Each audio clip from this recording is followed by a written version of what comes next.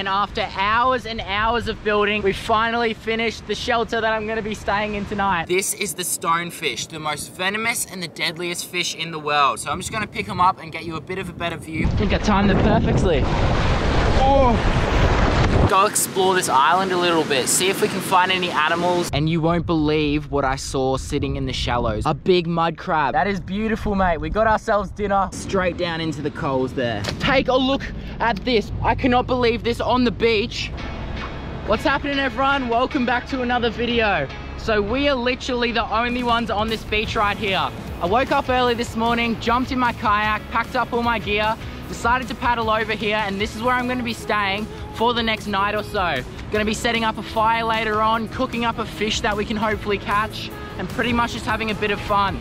The first thing that we need to do is build a shelter because if you have a look over behind us up there, there's a massive storm rolling in and I think it's gonna rain tonight as well. I've got a fishing rod, a knife, a couple of other resources, but yeah, I reckon this is gonna be a really cool video. I've never done an overnight survival video where I've filmed on the beach by myself, so I'm pretty keen for that. But yeah, it's just starting to rain down on us at the moment, but I don't really care. I don't have any plans for the next two days, so we're just gonna roll with it, see what happens. But I reckon what we start doing now, before it starts pouring down, let's go collect some sticks and stuff.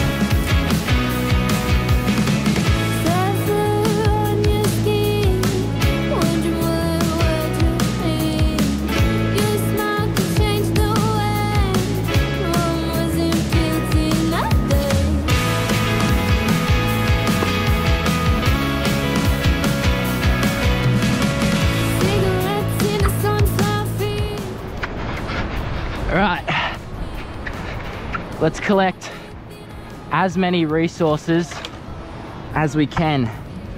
Is a good big pile of them. So good, all this stuff's just been washed up on the beach and we're just gonna set up camp under that over there.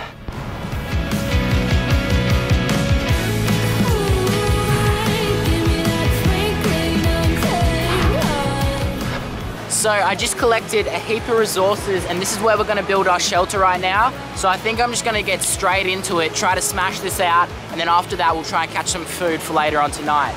So I reckon we just snap some of these sticks up and start putting them up there.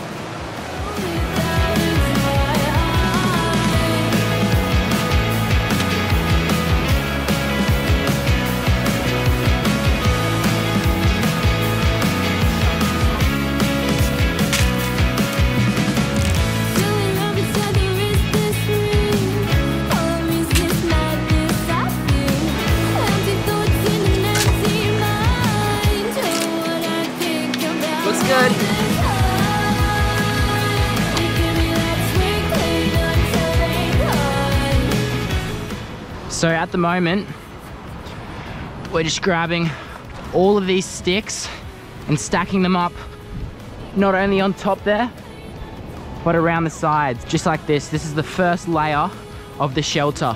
By the end of it, I'm hoping it to be fully waterproof.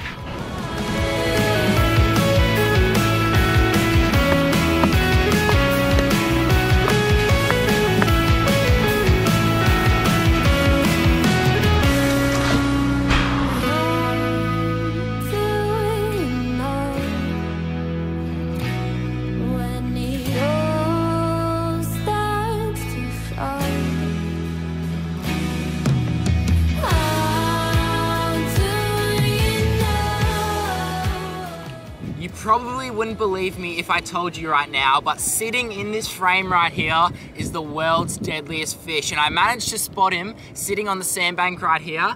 If you take a look just down in front of me right here, this is the stonefish, the most venomous and the deadliest fish in the world. Now, I have filmed heaps of stonefish in my previous videos, and I haven't seen one in a while, so to find one out in this sandbank right here is so cool. Look at him just buried right there. If you weren't looking really closely, you'd definitely stand on him. So I'm just gonna pick him up and get you a bit of a better view on this little fella. I'm gonna be extremely careful because we are out in the water here and getting stung in a place like this is a big no-go. So I'll gently put my hand underneath this animal and pick him up for you guys. Would you take a look at that right there? The saltwater stonefish. the estuary stonefish, also known as the most venomous fish in the world. That is so cool. What a way to start the morning. The most venomous fish in the world. That'll definitely get your morning going. Oh, look at him putting his spikes up like that. Oh, you can see that one over there. That is the reason why they're the most venomous fish in the world. They don't bite you to inject their venom or anything. If you apply downwards pressure on him, and it's so easy to do. You can see how well he was camouflaged out here. That venom will shoot into your body, and mate, you'll be in danger. You'll be in trouble. That'll be the worst pain you've ever felt in your life. Saying that, in a place like this, if I was to get stung, would I survive? Yes, I'd probably survive, but you wouldn't want to. You wouldn't think something as cute as this would put you in that much danger though, would you? One of my favorite animals without a doubt. Now we're not gonna let him go back in this area. We're gonna let him go in the deeper channel so that anyone who's walking around this area isn't gonna stand on him or anything. Let's keep going, that is so cool. Take a look at that little fella right there, the stonefish. Hopefully without standing on another stonefish, we'll walk out here and release this guy into the deep. But what a beautiful creature. One of my favorite animals that I can come across without here. All right, this is pretty deep water. All right, buddy, you are absolutely amazing. I'm gonna let you go out here and I hope you catch some fish today. Feed up well and I hope to see you soon as well. All right, there we go.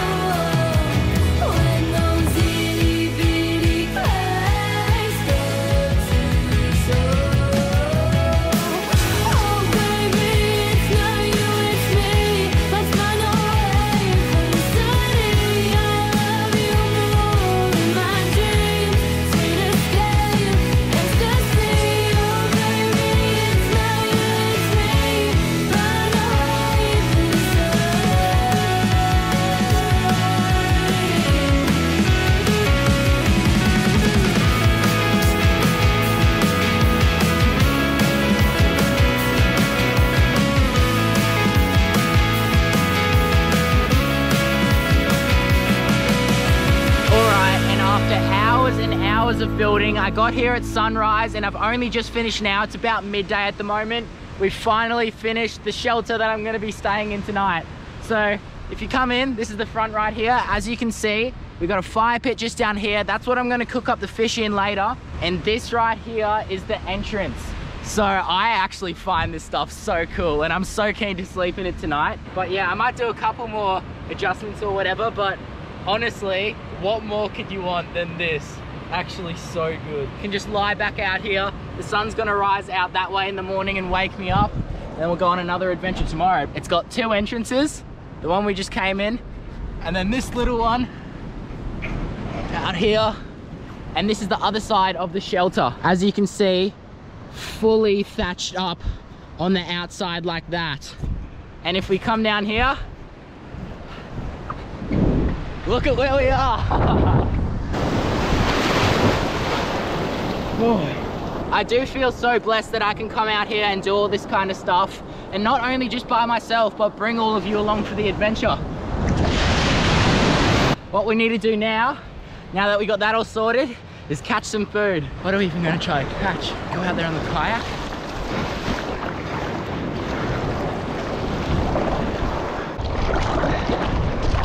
Well, I've been fishing for a while and I haven't caught anything yet, so I'm gonna head back in and check out the other side, but heading back in should be pretty interesting. I think I timed it perfectly.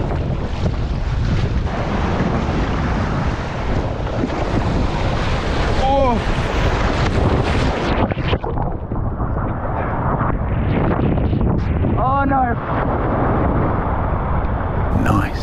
Think I timed it perfectly. That is what perfection looks like right there. Get this right, the one thing that I can't believe is that I went back out there to look if I dropped anything. I was like, no, it's all good started to walk back in and I found my car keys out in the water there. Another minute and they would have been gone in that surf right there. So that's pretty lucky. I still need to catch food. The wind has picked up so much. It's not even worth being out there at the moment.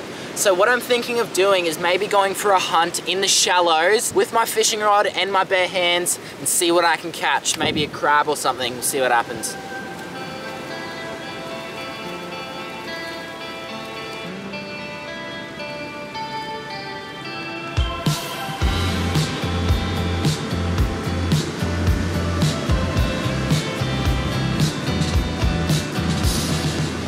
Been sitting around camp for a bit. What I'm gonna do now is just go explore this island a little bit, see if we can find any animals, maybe some kangaroos or something. But yeah, let's go, let's get into it.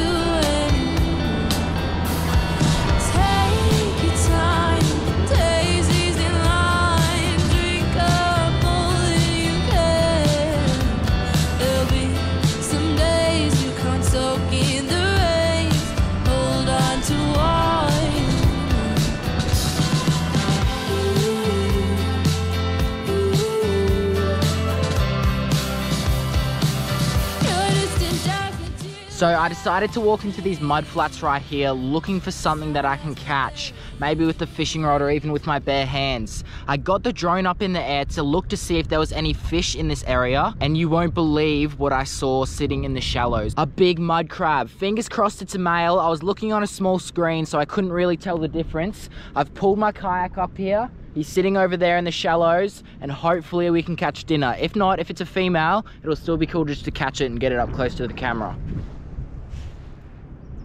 Just sneaking up on him right now. Oh, would you look at that? That is a male for sure. That is a big mud crab. Oh my goodness. Look at him sitting right down there.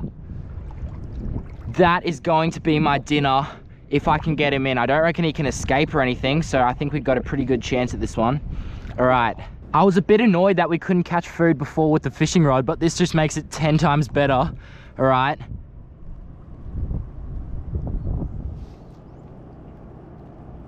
Let's feel down. And there we go. Oh, take a look at that right there. A massive male mud crab out in the mud flats. And that right there is gonna be my dinner. Oh, nearly got my finger right then.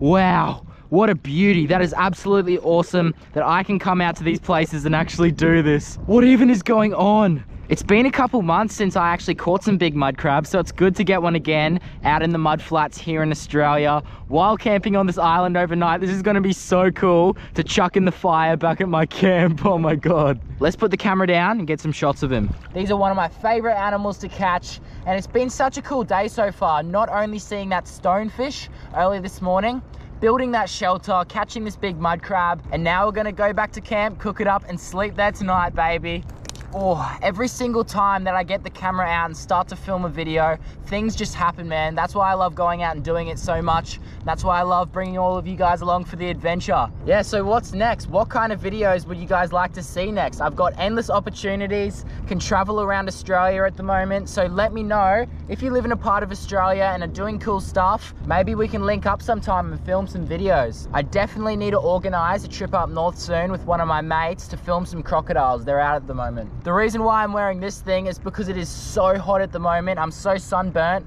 So what I think I'm gonna do, I'm gonna go back to my shelter, chill out for a bit, collect some firewood and get in that shade. It's actually really nice sitting under there. That is beautiful, mate. We got ourselves dinner. We're not going hungry tonight. All right, let's get back to the shelter. Oh my God, we got one. Filled this up with water. We'll chuck them in. Oh, oh. Get in there. Look at that.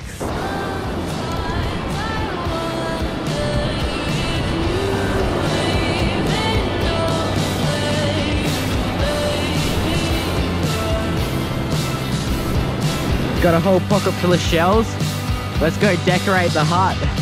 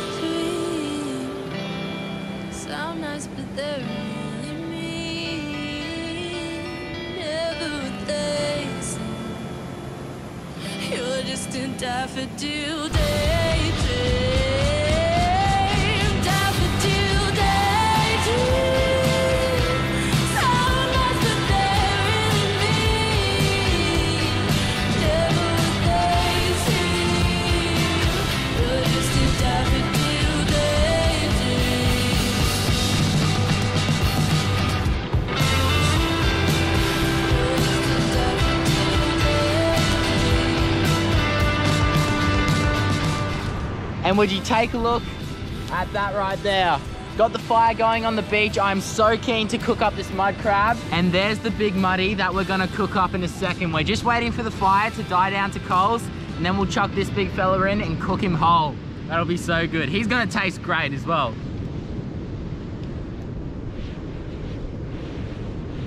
All right, we'll pick up the big muddy and we'll drop it straight down into the coals there. Just like that. Look at that big fella.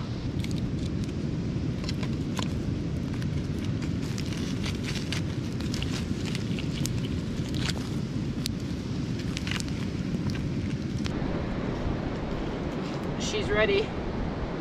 Let's take her out, go down to the water and eat her. What a day it has been so far. That is probably one of the coolest videos I've ever filmed. We got this mud crab as a bit of a reward.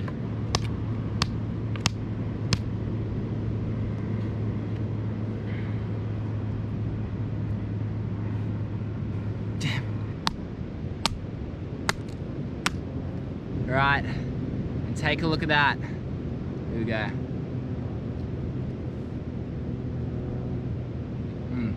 After not eating anything all day, this tastes so good. I got sand all over it, but I don't really care.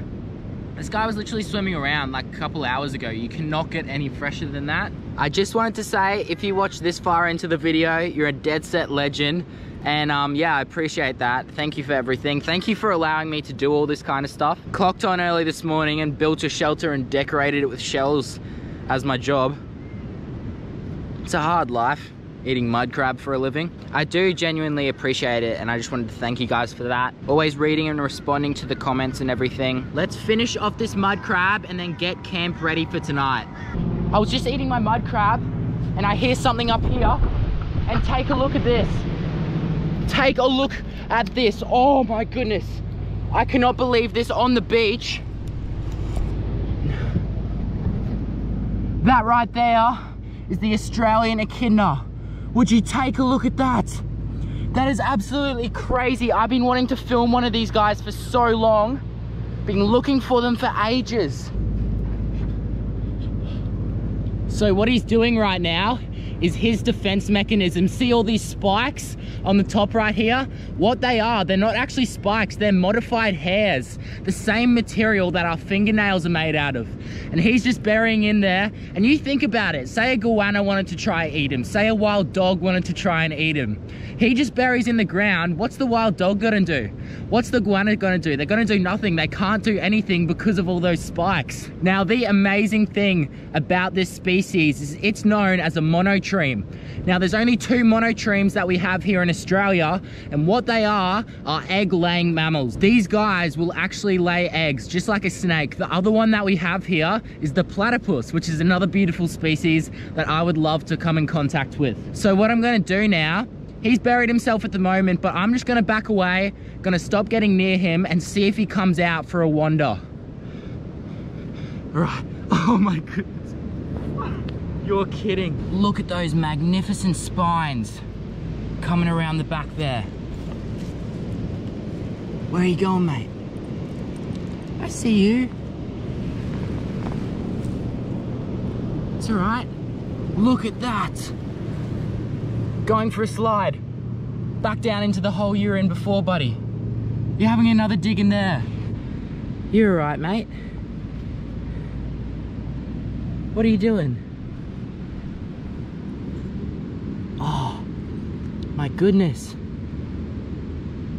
This is one of the most amazing experiences I've ever had with an animal alone, let alone an echidna. What are you trying to do, buddy?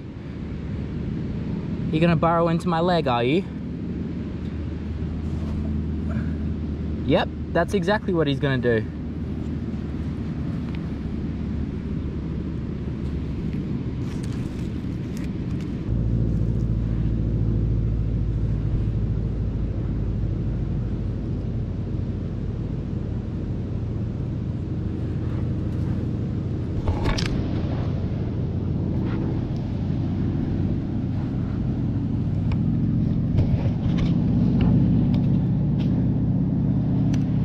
I don't think anyone will truly understand how crazy it is for me to find an echidna like this because I've been looking for them for so long. I've been wanting to film a video with one and it's almost like I kind of let it go and then all of a sudden this guy comes to me. He's come out a couple times but as soon as I put the camera on him he's a bit shy and he goes back down and digs another hole. I was just saying how much of an awesome day it's been and this just tops it off.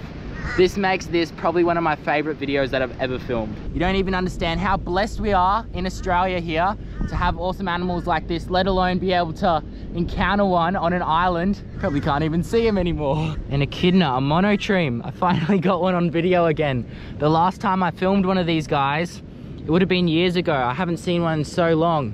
It's good to see that they're out again. They're an endangered species. You can't touch them, you can't pick them up or anything, but it's so cool just to watch them in their natural habitat doing their own thing.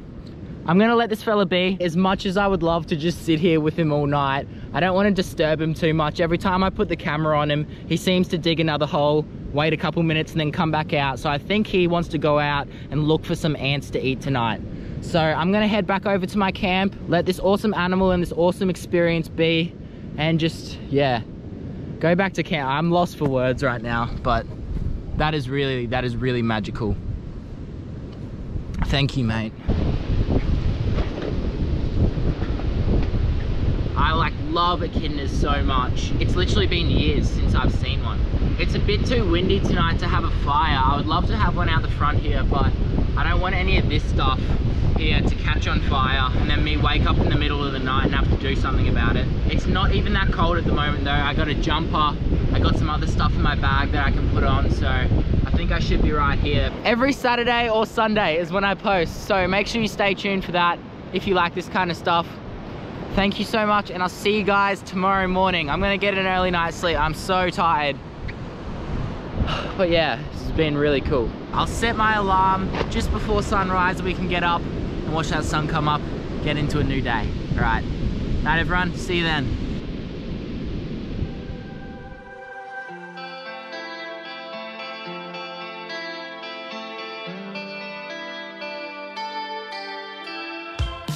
All right, good morning everyone. So it is currently day two. It's about 6.30, 6.28 in the morning at the moment, and the sun is literally just coming up. And would you take a look at that right there? The sun is literally just popping up over the horizon. This is such a beautiful morning to wake up to, and we got a whole other adventure planned for today. I don't even know what I'm gonna do yet. Hopefully try to actually go get some stuff on the fishing rod. All right, let me get a shot of that sun coming up real quick. Now, I was hearing a couple things coming past my camp really early this morning before the sun came up, before there was any light. And I came out here and there's actually kangaroo tracks, which is really cool to see that there's kangaroos and other animals over here. But yeah, not a bad way to start the day.